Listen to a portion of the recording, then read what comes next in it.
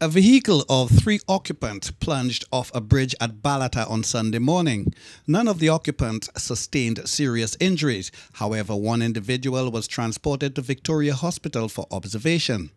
A local contractor blames the accident on what he says is the unusual design of the bridge. Two motor vehicles was traveling opposite direction. The one that come from Balata going down towards Castries he it was a car that ended up under the bridge.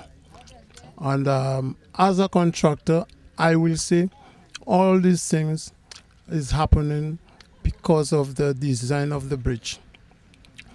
Uh, authorities, engineers, government have to have a look at something to do about that bridge that is in a corner.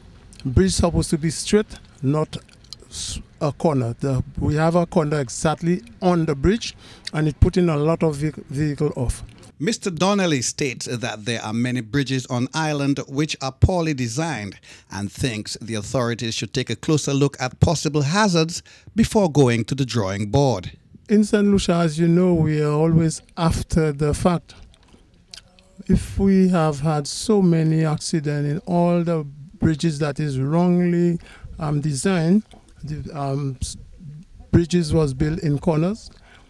I'm, I believe it is about time for authority to look into it and do something as soon as possible, ASAP. The accident occurred at approximately 10 a.m. on Sunday. For the DBS News World, I am Alex Bousquet.